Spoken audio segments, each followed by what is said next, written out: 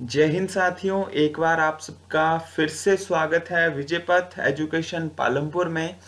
आज हमारी class fourth रहेगी एनसीईआरटी के ऊपर पेस्ट जर्नल साइंस की, जिसमें हम फिर से एक बार इम्पोर्टेंट क्वेश्चन की सीरीज़ को आप सबके सामने यहाँ पे लेके आए हैं।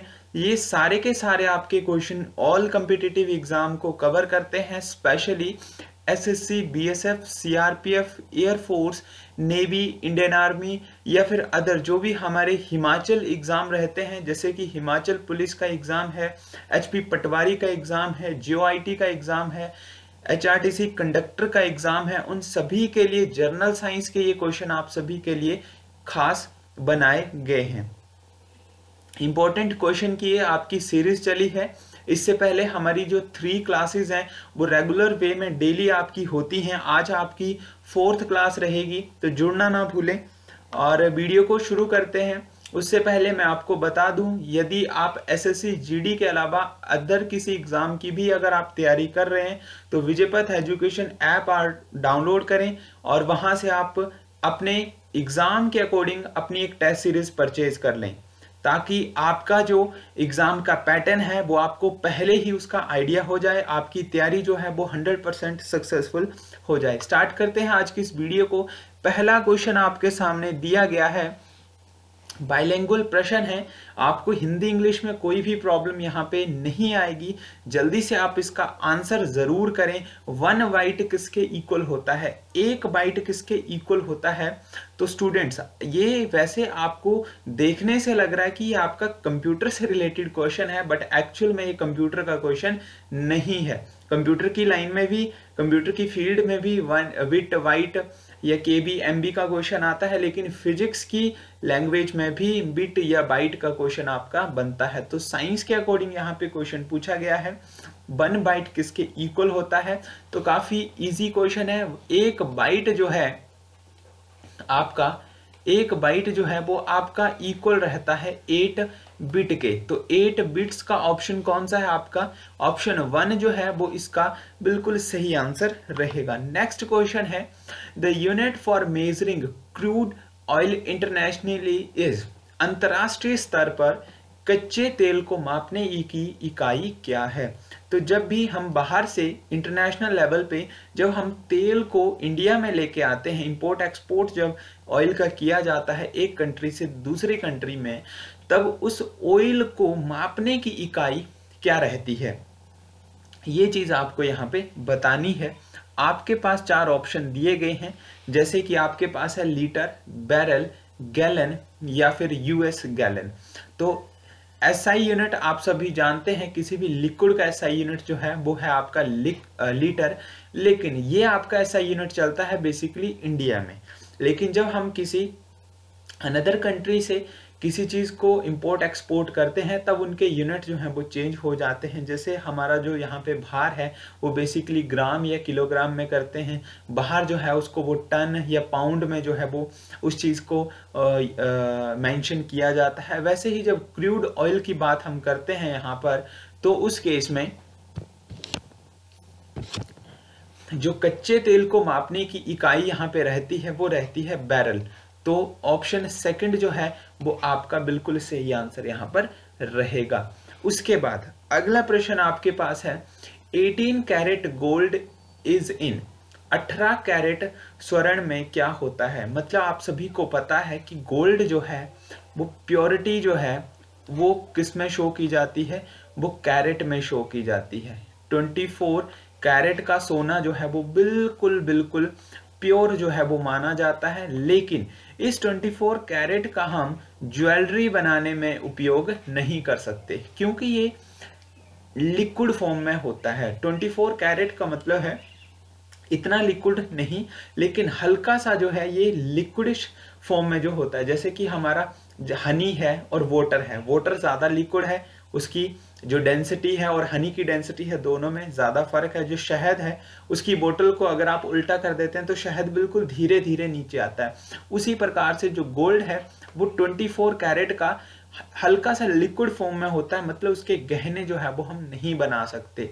तब उस केस में, उसमें क्या मिलाया जाता है? उसमें कॉपर तांबा मिलाते हैं, ताकि उसकी जो स्टेबिलिटी है, वो ज़्यादा बनी रहे। उसमें जो चमक जो है वो गोल्ड की रहे और जो उसमें स्टेबिलिटी है, वो कहाँ से आए? वो तांबे से आए, ताकि वो टूटे नहीं।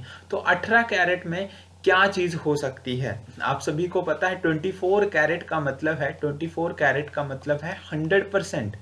तो यहाँ पे आपसे कितनी वैल्यू पूछी गई है? एक कैरेट की। तो यहाँ पे 24 कैरेट की वैल्यू आपको पता है तो एक कैरेट की वैल्यू कितनी आ जाएगी? यहाँ पे सॉरी आपके पास बनेगा हंड्रेड बाय ट्वेंटी फोर, ये एक कैरेट की वैल्यू अब आपसे पूछी कितनी गई है? एटीन की। तो इस तरफ़ एटीन से मल्टीप्लाई तो इस तरफ़ भी एटीन से मल्टीप्लाई अब आप इसको कटिंग करें छः के टेबल से काटेंगे तो छः से तीन बार जाएगा, और छः से जाएगा ये कितनी बार? चार बार। चार से सो जाएगा तो कितना आएगा? पच्चीस। और पच्चीस गुणा तीन करेंगे तो पिछहत्तर प्रतिशत जो है, वो उसमें क्या रहेगा? वो उसमें रहेगा गोल्ड तो पिछहत्तर प्रतिशत का कौन सा आपका ऑप्शन है? ऑप्शन थर्ड राइट आंसर है। सेवेंटी फाइव परसेंट उसमें सोना है और ट्वेंटी फाइव परसेंट जो है उसमें इम्प्योरिटी मिलाई जाती है। जस्ट लाइक जिंक हो गया आपका कॉपर हो गया, तांबा है, इन चीज़ों की मिलावट वहाँ पे की जाती है। अगला प्रश्न फिर से बिट या बाइट से रिलेटेड है। ये कंप्यूटर साइंस की फॉर्म में भी आप इसको ले सकते हैं। एक किलो बाइट और मेगा बाइट बराबर होते हैं। तो कौन सा ऑप्शन आपका यहाँ पे सही है? ये आपने यहाँ पे बताना है। एक kilobyte and megabyte equal होते हैं। तो इसका जो राइट आंसर आपका बनेगा, वो बनेगा ऑप्शन फोर एक हज़ार चौबीस बाइट और एक हज़ार किलो बाइट ये इसका राइट आंसर है। यहाँ पे थाउज़ेंड नहीं आएगा। यहाँ पे एक हज़ार चौबीस ही आएगा। यहाँ पे एक हज़ार चौबीस ही आएगा। एमबी जो है, एक MB जो है, वो किसके इक्वल होती है? वो आपकी रहती है एक हज़ार चौबीस के बी के इक्वल तो यहाँ पे जो है, वो आपका एक हज़ार चौबीस आएगा। इस इस ऑप्शन को आप एक्यूरेट कर लें। ऑप्शन फोर्थ आपका सही आंसर रहेगा। नेक्स्ट प्रश्न है आपके सामने। Tesla is a unit of magnetic magnetic की फ़ील्ड में टेस्ला जो है, वो किसकी यूनिट है? मैग्नेटिक फ्लो की इंडक्शन की एरिया की, या फिर मोमेंटम की। ये आपको यहाँ पे बताना है कि टेस्ला जो है, वो किसकी यूनिट है। कमेंट आप ज़रूर करें साथ साथ में। इसके साथ आपकी एसएससी की क्लासेस जो हैं, वो भी आपकी स्टार्ट हो चुकी हैं। वो भी आप मैथ की स्पेशली क्लासेस जो हैं वो आपकी स्टार्ट हैं, उनको आप देख सकते हैं।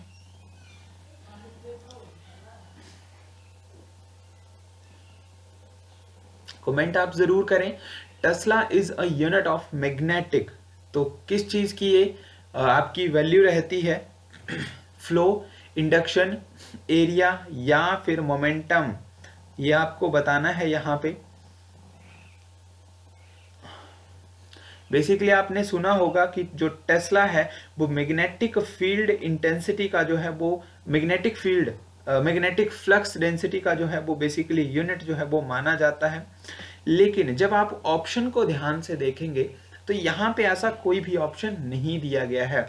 ये जो भी आपकी यहाँ पे जर्नल साइंस की सीरीज़ चली है ये थोड़ी सी आपकी एडवांस लेवल की आ, सीरीज़ रहेगी क्योंकि इसमें बिल्कुल बेसिक लेवल के हम क्वेश्चन जो है वो आपको नहीं कराएँगे। बेसिक आपको आपकी बुक्स में भी आपको क्वेश्चन मिल जाते हैं। आप डेली रूटीन में जो क्वेश्चन पढ़ते हैं वो भी आपको आ, बेसिक लेवल के क्वेश्चन मिल जाते हैं। लेकिन यहाँ पे हम थोड़े से बेसिक से मॉडरेट लेवल की बात कर रहे हैं।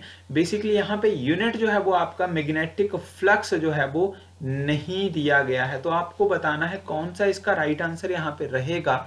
तो इसका जो राइट आंसर है आपका, वो आपका रहेगा ऑप्शन नंबर थ्री एरिया ये इसका बिल्कुल सही आंसर रहेगा। Tesla is a unit of magnetic flux आप बोल सकते हैं।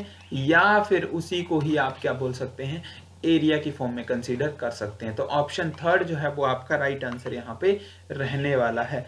अगला प्रश्न है आपके सामने। आपको बताना है निम्न में से कौन द्रव्यमान की इकाई नहीं है? Which of the following is not a mass unit mass unit नहीं है। तो इसका जो राइट uh, आंसर right आपका रहेगा वो है आपके पास डाइन यहाँ पे स्पेलिंग मिस्टेक है डाइन जो है वो आपका राइट आंसर रहेगा।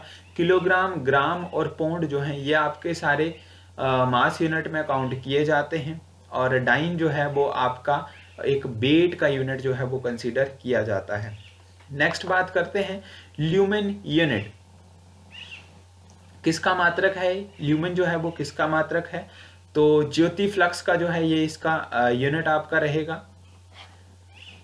ऑप्शन थर्ड जो है वो इसका राइट आंसर यहाँ पे रहेगा। अगला one micron is equal to एक माइक्रोन किसके बराबर होता है? थोड़े से एडवांस लेवल के क्वेश्चन है। आपको साथ साथ में नोट्स जो है वो बनाते चलना है। यहाँ पे आपको अगर हिंदी में, हिंदी मीडियम के हैं आप या फिर इंग्लिश मीडियम के हैं तो क्वेश्चन आप लिखें और उसके सामने जो है आप उसका आंसर यहाँ पे लिख दें। बस इतने से आपको डेली टू डेली जो है वो नोट्स बनाने हैं। अभी तक हमारी तीन क्लासेस हो चुकी हैं। आज हमारी फोर्थ क्लास है।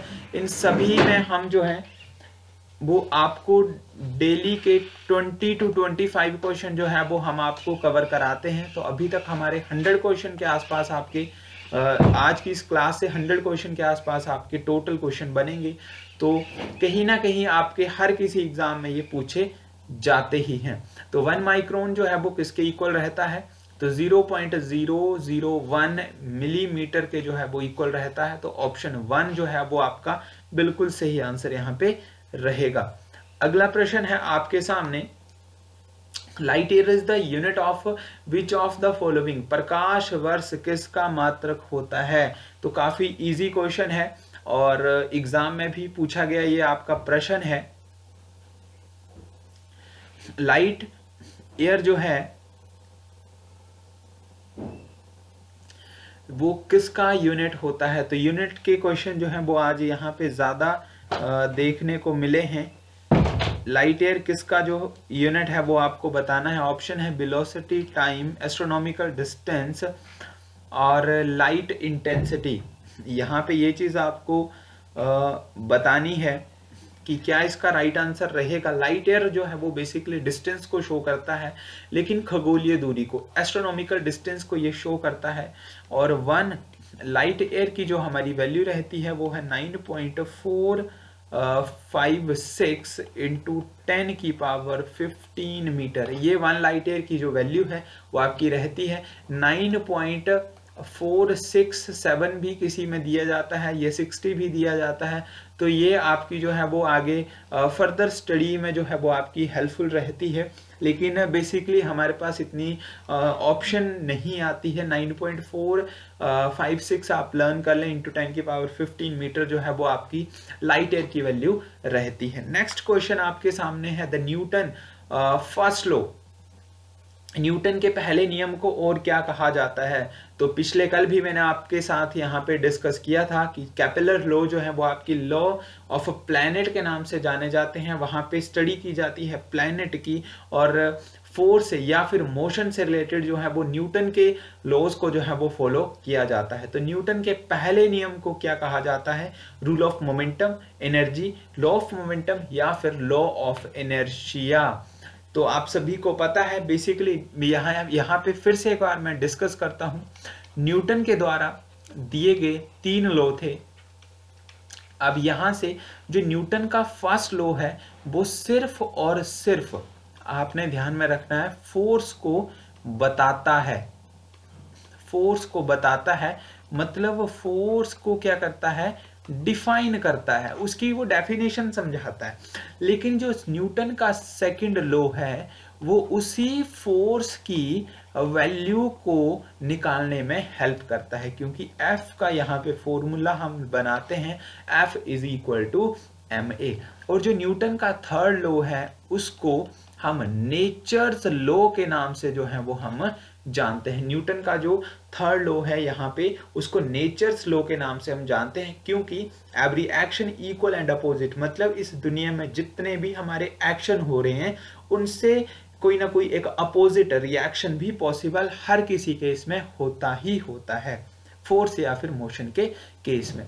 तो यहाँ पे न्यूटन का जो फ़र्स्ट लॉ है, वो सिर्फ़ फोर्स को डिफाइन करता है, न्यूटन का सेकंड लॉ उस फोर्स की वैल्यू को निकालता है। जैसे कि मैं यहाँ पे बोलूँ कि यहाँ पे कोई एक ईंट जो है वो रखी गई है, एक ब्रिक जो है वो रखी गई है। अब मैंने इसके ऊपर फोर्स लगाई तो ये ब्रिक जो है वो अपनी पोजीशन को चेंज करके यहाँ पे चली गई।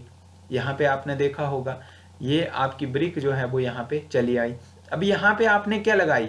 आपने लगाई यहाँ पे फोर्स तो न्यूटन का फ़र्स्ट लॉ यहाँ से वेरीफाई हो गया। लेकिन मैं अब आपसे ये पूछूँ कि इस ब्रिक को हिलाने के लिए, इस मूवमेंट के लिए आपने कितनी फोर्स लगाई? उसकी वैल्यू कितनी है?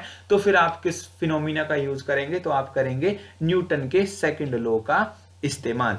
तो यहाँ पे आपसे पूछा गया है कि न्यूटन का फ़र्स्ट लॉ क्या शो करता है? तो लॉ ऑफ़ इनर्शिया के नाम से जो है वो हम न्यूटन के फ़र्स्ट लॉ को हम यहाँ पे जानते हैं। अगला प्रश्न है ये क्वेश्चन भी पिछली क्लास में हमने आ, बात की थी यहाँ पे।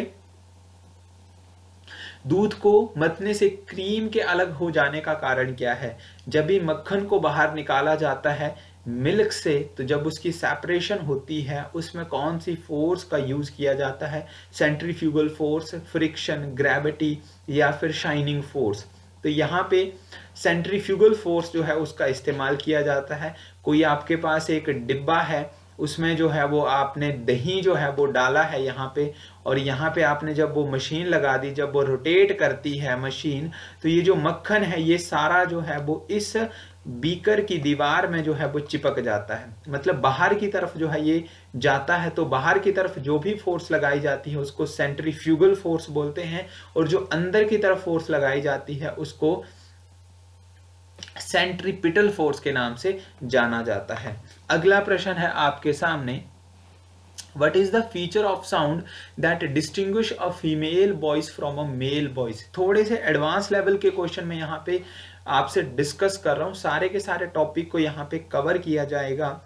जो आपकी एक साउंड है, ऐसी कौन सी उसकी एक फीचर है प्रॉपर्टी है, जिससे हम एक मेल और फीमेल की साउंड को डिफ्रेंशिएट कर सकते हैं। आप सभी ने देखा होगा, जब भी हम कस्टमर केयर से बात करते हैं, जब भी हम कस्टमर केयर से बात करते हैं तो वो जब भी हेलो बोलते हैं तो हम पहले ही समझ जाते हैं कि वो क्या है, वो फीमेल है, या फिर वो कौन बात कर रहा है मेल बात कर रहे हैं। हम किसी की वॉइस से पहचान सकते हैं। अब जैसे मैं आपके सामने यहाँ पे बात कर रहा हूँ, अब चेहरा तो मैं आपके सामने यहाँ पे नहीं बता रहा हूँ, लेकिन जो मेरी वॉइस है, वो आपको यहाँ पे कहीं ना कहीं पे कुछ एक ऐसा फीचर बता रही कि आप पहचान सकते हैं कि कोई मेल बात कर रहा है या फिर कोई फीमेल बात कर रहा है। जैसे कि जब आपके पेरेंट्स आपको बुलाते हैं, ठीक है तो आप उनको कैसे पहचानते हैं? उनकी साउंड से पहचानते हैं। आप, फॉर एग्जांपल, आपने अपनी आँखें बंद कर ली, आपके मम्मी आपको आवाज़ लगा रहे हैं तो वो आपको कैसे पता चलेगा? उनकी साउंड से पता चलेगा। तो ऐसी कौन सी क्वालिटी है, कौन सी एक ऐसी वैल्यू है, जिसके अकॉर्डिंग आप उस चीज़ को क्या कर सकते हैं? अलग बता सकते हैं, डिस्टिंग्विश कर सकते हैं। तो वो चीज़ क्या होती है? वो होता है तारत्व। तारत्व है स्टार हम जिसको बोलते हैं, और बेसिकली हम यहाँ पे जो है उनकी पिच के बारे में भी बात कर सकते हैं, और पिच डायरेक्टली डिपेंड होती है हमारी किसके ऊपर? फ्रीक्वेंसी के ऊपर। तो लड़कियों की जो है वो हाई पिच होती है। हाई पिच का मतलब है, यहाँ पे मैं वेवलेंथ और फ्रीक्वेंसी की फॉर्म में आपको बता देता ये जो है वो हाई पिच की वैल्यू है, और ये जो है वो आपके पास स्लो पिच की वैल्यू है। लड़कियाँ जो है वो फास्ट फास्ट बोलती हैं, इसलिए उनकी पिच इस टाइप की बनती है। और यहाँ पे जो है वो लड़कों के लिए कुछ इस टाइप की ये बनती है। तो इसका जो राइट आंसर आपका रहेगा वो है आपके पास तारत्व। अगला प्रश्न है आपके सामने which of the following has no effect on the velocity of sound इनमें से किसका ध्वनि के वेग पर कोई प्रभाव नहीं पड़ेगा? आपको यहाँ पे बताना है कि ऐसी कौन सी एक ऐसी वैल्यू है जिसके ऊपर ध्वनि के बेग बेग पर कोई प्रभाव नहीं पड़ता है? बिलोसिटी ऑफ़ साउंड के ऊपर कोई भी फ़र्क नहीं पड़ता है। जैसे कि बिलोसिटी ऑफ़ साउंड का मतलब है बिलोसिटी को मैंने पिछले कल भी आपको बताया था। बिलोसिटी को अंडरस्टैंड हम कर सकते हैं किससे? स्पीड से। जो स्पीड ऑफ़ साउंड है स्पीड ऑफ़ साउंड, जैसे कि कोई गाना आप लगा रहे हैं, वो गाना जो है वो काफ़ी तेज तेज चल रहा है, जैसे डीजे में होता है, ठीक है? तो यहाँ पे अगर ह्यूमिडिटी अप्लाई कर दी जाए तो क्या स्पीड ऑफ़ साउंड के ऊपर फ़र्क कोई पड़ेगा? अगर कोई प्रेशर अप्लाई कर दिया जाए प्रेशर का मतलब एटमॉस्फेरिक प्रेशर तो क्या स्पीड ऑफ़ साउंड के ऊपर कोई फ़र्क पड़ेगा? अगर टेम्परेचर या डेंसिटी में कोई चेंजिंग कर दी जाए तो क्या स्पीड ऑफ़ साउंड के ऊपर कोई फ़र्क पड़ेगा या फिर नहीं पड़ेगा? तो यहाँ पे ह्यूमिडिटी टेम्परेचर और डेंसिटी में अगर कोई भी चेंज आता है तो speed of sound directly change हो जाती है। लेकिन अगर मैं प्रेशर के साथ कुछ चेंज करता हूँ, उसके साथ कोई मैं छेड़छाड़ करता हूँ तो स्पीड ऑफ़ साउंड के ऊपर कोई भी फ़र्क नहीं पड़ेगा। तो प्रेशर जो है वो इसका बिल्कुल सही आंसर यहाँ पे रहेगा। अगला प्रश्न है आपके पास which of the following phenomena can not occur in sound wave अब यहाँ पे जो मैं आपसे यहाँ पे क्वेश्चन कर रहा हूँ, थोड़ी सी मैं आपको यहाँ पे हिंट देता हूँ आपको किस टाइप से वीडियो को देखना है, किस टाइप से आपको क्वेश्चन जो है वो लिखने हैं यहाँ पे। आपने अगर यदि आप अगर नोट्स बना रहे हिंदी इंग्लिश मीडियम के, आप किसी भी स्ट्रीम के हैं तो अगर आप इंग्लिश के हैं तो जैसे इंग्लिश में आपने क्वेश्चन लिख लिया यहाँ पे, और अगर आप हिंदी के हैं तो आपने हिंदी में क्वेश्चन लिख लिया। वीडियो को पॉज करें, उसके बाद खुद चेक करें आप अपने माइंड में कि कौन सा इसका एक्यूरेट आंसर रहेगा। जैसे आपने कोई सोच लिया कि ऑप्शन ए जो है, वो आपका राइट right आंसर है। जैसे आपने फॉर एग्ज़ाम्पल ये मान लिया। तो अब आप वीडियो को फिर से प्ले करें और फिर चेक करें कि कौन क्या आपने जो आंसर यहाँ पे टिक किया है कि आपका वो सही है या फिर वो गलत है। तो इससे आपका जो है वो पहले एक टेस्ट का टेस्ट हो जाएगा और उसके साथ में आपके नोट्स के नोट्स भी बन जाएँगे। वीडियो मोस्टली 30 मिनट के आसपास आपकी रहती है 20 टू 30 मिनट की आपकी एक वीडियो रहती है। आप इसको स्टॉप और प्ले की फॉर्म में देखेंगे तो एक घंटे में आपके 20 क्वेश्चन जो हैं वो 101 परसेंट आपके दिमाग में फिट हो जाएँगे। और सबसे खास बात आपकी ये है कि ये जो मैं आपके पास क्वेश्चन लेके आता हूँ, जैसे क्लास वन हुई तो उसके एक या दो प्रश्न आपके रिपीटेड फॉर्म में क्लास टू में आएँगे, या उससे रिलेटेड कोई क्वेश्चन आपके अनदर क्लासेस में आपको देखने को मिलेंगे। तो उससे आपकी जो है वो ज़्यादा प्रैक्टिस यहाँ पे हो जाती है। क्वेश्चन पे आते हैं which of the following phenomena can not occur in sound wave sound wave में कौन सा फिनोमिना नहीं होता है? तो इंटरफेरेंस रिफ्लेक्शन डिफ्रैक्शन ये तीनों की तीनों चीज़ें साउंड वेव में पॉसिबल होती हैं लेकिन पोलराइजेशन जो है उसका साउंड से कोई भी लेना देना नहीं है। ये सिर्फ़ चलता है आपके लाइट की फॉर्म में। लाइट वेव में ये आपका पोलराइजेशन का प्रोसेस होता है लेकिन साउंड वेव में पोलराइजेशन का प्रोसेस नहीं होता है। अगला प्रश्न है आपके सामने। Sound with frequency of 20 hertz to 20,000 hertz is called 20 से बीस हज़ार की हर्ट्स की जो हमारी ध्वनिया हैं, उनको हम क्या बोलते हैं? तो ये आपसे यहाँ पे पूछा गया है। मैं यहाँ पे टेबल जो है, वो आपको बना देता हूँ। टेबल जो है, वो किस टाइप का हमारा टेबल रहेगा? यहाँ पे जो है, वो सबसे पहले रहती है ज़ीरो से लेके ट्वेंटी हर्ट्स तक। फिर हमारी रहती है ट्वेंटी हर्ट से लेके ट्वेंटी किलो आप लिख सकते हैं या फिर थाउज़ेंड लिख सकते हैं। यहाँ पे बीस हज़ार हर्ट्स भी आप लिख सकते हैं या फिर ट्वेंटी के मतलब किलो हर्ट्स आप लिख सकते हैं। और उसके बाद आता है बीस हज़ार हर्ट से ज़्यादा या फिर मोर तो यहाँ पे जो ज़ीरो से बीस है, इसमें ह्यूमन नहीं आता है। यहाँ पे जो है वो हमारे पास आता है ह्यूमन हम जो है वो 20 से बीस हज़ार की रेंज तक ध्वनियों को सुन सकते हैं। वैसे बीस हज़ार तो काफ़ी ज़्यादा है, लेकिन हम जो है वो 20 से बीस हज़ार तक के रेंज में हम एग्जिस्ट करते हैं, इसलिए इनको बोला जाता है ऑडियो साउंड ऑडियोबल वेव हम बोल सकते हैं, या फिर हम ऑडियो साउंड जो है वो हम बोलते हैं। अब बात करते हैं जो बीस हज़ार से ज़्यादा है, उनको बोला जाता है अल्ट्रासोनिक अल्ट्रासोनिक, जो आपकी अल्ट्रासाउंड में यूज़ की जाने वाली वेव है, वो बीस हज़ार किलो हर्ट बीस हज़ार हर्ट से ज़्यादा होती हैं। उनको अल्ट्रासोनिक बोलते हैं और जो हमारी ज़ीरो से बीस हर्ट्स तक होती हैं, उनको हम बोलते हैं इंफ्रा इंफ्रारेज इंफ्रा रेज तो ये यहाँ पे जो है वो आपके पास इंफ्रारेज में जो है वो आपके पास आते हैं डॉग और अल्ट्रासोनिक में आपके पास जैसे कि एलिफेंट है या फिर मस्कीटो है, मच्छर है, ये इसमें आते हैं ब्लू भेल है, ये जो है वो अल्ट्रासोनिक में आते हैं और डॉग जो है वो सबसे अच्छा एग्ज़ाम्पल है इंफ्रासोनिक वेव्स का। तो यहाँ पे जो है वो डॉग जो है वो आर्मी में इंफ्रासोनिक रेज की वजह से ही डॉग को जो है वो आर्मी में रखा जाता है ताकि वो स्मेल करके जो है वो आ, किसी बॉम्ब का जो है वो डिटेक्शन कर सके। तो इसका जो आपका क्वेश्चन का राइट आंसर है वो है आपका ऑडियो साउंड अगला प्रश्न है what does a bat sound like चमकादड़ की ध्वनि कैसी होती है? तो चमकादड़ की ध्वनि जो है वो पराश्रव्य ध्वनि है तो ये आपका कोई ऑप्शन फोर्थ जो है वो आपका राइट आंसर है। पराश्रव्य ध्वनि को जो है वो हम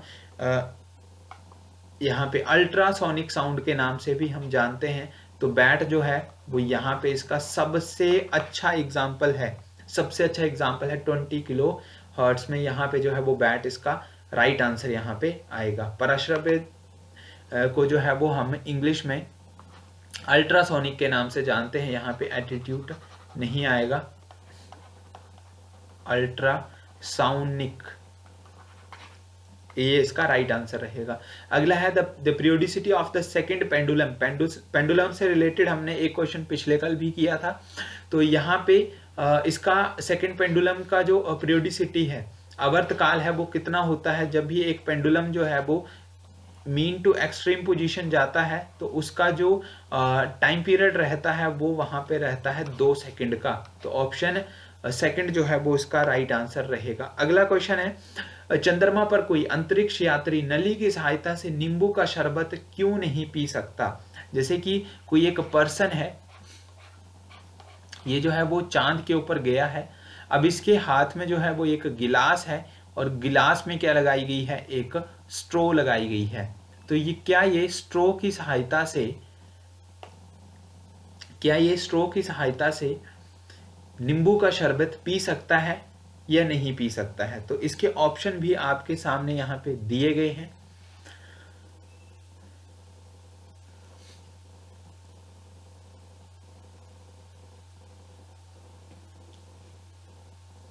तो यहाँ पे राइट आंसर इसका क्या रहेगा? चंद्रमा पर घनत्व के कारण त्वरण कम है। अब आपको यहाँ पे क्वेश्चन में ही एक चीज़ दी गई है कि कांट कांट का मतलब है शरबत क्यों नहीं पी सकता? ये तो आपको पता चल गया कि वो शरबत नहीं पी सकता। क्यों नहीं पी सकता? क्योंकि चंद्रमा के ऊपर कोई एटमॉस्फेयर ही नहीं है। वहाँ पे तो कोई आपका वायुमंडल ही नहीं है। तो इस कारण से वो जो है वो शरबत नहीं पी सकता। अब चंद्रमा से एक और सबसे इंपॉर्टेंट आपका क्वेश्चन ये आता है एसएससी का आपका ये क्वेश्चन रहेगा। एसएससी का आपका ये क्वेश्चन है। वहाँ पे आपका एक क्वेश्चन ये आया था, क्योंकि जब मैंने खुद आप एक एग्ज़ाम दिया था एसएससी का तो उस, उसमें ये क्वेश्चन जो है वो पूछा गया था कि जब आप चंद्रमा के ऊपर कोई एक बॉम्ब जो है, वो अगर फोड़ते हैं तो धरती में उसकी साउंड कितने समय के बाद सुनाई देगी? तो उसके ऑप्शन भी दिए गए थे, जैसे कि 10 सेकंड के बाद, एक घंटे के बाद, या फिर एक मिनट के बाद, या फिर इनमें से कोई नहीं। या फिर किसी में दिया जाता है, सुनाई नहीं देगी, या सुनाई देगी। तो यहाँ पे जो बॉम्ब की साउंड है, वो हमें नहीं सुनाई देगी। तो इनमें से कोई नहीं इसका राइट आंसर था, या फिर साउंड नहीं सुनाई देगी। अगर कोई ऐसा ऑप्शन होता तो राइट आंसर था, क्योंकि चंद्रमा पे ऊपर कोई भी वायुमंडल नहीं है। और कई बार क्वेश्चन आपके सब पास इसी टाइप के क्वेश्चन आते हैं, लेकिन आप फिर भी उनको गलत जो है, वो करके आते हैं। यहाँ पे आपका जो माइंड है वो कई बार पजल हो जाता है। मेरे से भी खुद, जब मैं अपने एग्ज़ाम यहाँ पे देता हूँ तो कोई ना कोई एक जनरल साइंस का क्वेश्चन ऐसा पूछ लिया जाता है कि वो आपको बाद में घर आके पता चलता है कि ओहो, ये क्वेश्चन तो आपका बड़ा ज़्यादा इजी था। जैसे मैंने आपको बोम वाला क्वेश्चन यहाँ पे बताया। अब आपको बोम का क्वेश्चन ऐसा नहीं है कि डायरेक्ट पूछा जाएगा। यहाँ पे आपको एक एक क्वेश्चन जैसे कि पहला क्वेश्चन आपको पूछ लिया जाएगा कि चंद्रमा से जो चंद्रमा का प्रकाश है, वो पृथ्वी तक कितने समय में पहुँचता है? तो अब माइंड जो है आपका, वो उस टाइम को सर्च कर रहा है। कि 20 सेकंड में पहुँचता है। जैसे सूर्य से आपको पता है कि सूर्य का प्रकाश जो है, वो आपका 8 मिनट 16 सेकंड में धरती में पहुँचता है। मान लो ये आपका पहला क्वेश्चन आ गया। तो अब आपको दिमाग जो है, उसको ये पता कि वो जो रोशनी है, वो इतने समय में पहुँचती है। लेकिन जब क्वेश्चन अगला ही आपका बॉम्ब वाला क्वेश्चन आपको डाल देंगे तो आपका माइंड उसी में ही वो सर्चिंग रहेगा कि वो सुनाई देगी, लेकिन कुछ टाइम लगेगा। आठ मिनट का टाइम लगेगा जैसे। तो फिर उस केस में आपका जो माइंड है वो उस केस में उस चीज़ को स्टडी नहीं कर पाता है और जब आपका एग्ज़ाम ख़त्म हो जाता है, जब आप घर आ जाते हैं, उस पेपर को चेक करते हैं जो आपके ऑफलाइन होते हैं तो फिर आपको बाद में पता चलता है कि, ओहो, ये क्वेश्चन तो आपका इजी था बट फिर भी मैंने इसको गलत कर दिया। अगला लास्ट क्वेश्चन है आज की इस क्लास का। बरसात के दिन, दिनों में जल पर छोटी तेली परतों में चमकीले रंग दिखाई देते हैं। ये किसके कारण होता है? काफ़ी इंपॉर्टेंट क्वेश्चन है और मैंने पहले ही आपको बता दिया है। एडवांस लेवल की जर्नल साइंस आपकी यहाँ पे चलाई गई है। ये आपके एयरफोर्स के एग्ज़ाम को भी कवर करती है। तो यहाँ पे बरसात के दिनों में आपने देखा होगा कि कोई एक रोड है और यहाँ से जब कोई गाड़ी जाती है तो उसका अगर कोई पेट्रोल अगर यहाँ पे गिर जाता है तो यहाँ पे एक चमकीले रंग की इंद्रधनुष के कलर की एक फ़िल्म जैसी जो है वो बन जाती है। तो वो किसके कारण होती है? तो वो होती है आपकी इंटरफेरेंस वैसे इसका राइट आंसर है बट यहाँ पे ऑप्शन में नहीं दिया गया है। तो रिफ्लेक्शन परिक्षेपण, वैसे हम उसको बोलते हैं। इंटरफेरेंस को जो है वो परिक्षेपण हम बोलते हैं। तो यहाँ पे रिफ्लेक्शन नहीं आएगा। इंटरफेरेंस आएगा, परिक्षेपण जो है वो इसका बिल्कुल सही आंसर यहाँ पर रहेगा। सीडी में भी आपने देखा होगा। जो हमारे पास डीवीडी की सीडी होती है तो जब आप उसको हल्का सा टिल्ट करते हैं, घुमाते हैं तो आपको जो है वो सेवन कलर यहाँ पे दिखाई दे जाते हैं। तो वो वो भी किसके कारण होता है? इंटरफेरेंस के कारण वो होता है। उसके बाद मेले में आपने देखा होगा, मेले में एक साबुन का एक घोल मिलता है और उसके अंदर जो है वो एक छोटी सी इस टाइप की कोई एक डंडी जैसी बनाई होती है। जैसे इस घोल को इस हम इसमें फूक मारते हैं, हवा जब इसमें देते हैं तो इसके छोटे छोटे गुब्बारे जो हैं वो निकलते हैं। बबल जो हैं वो निकलते हैं और ऊपर आसमान में चलते हैं तो ये हमें कैसे दिखाई देते हैं? चमकीले रंग के जो हैं वो दिखाई देते हैं। तो ये भी किसके कारण होता है?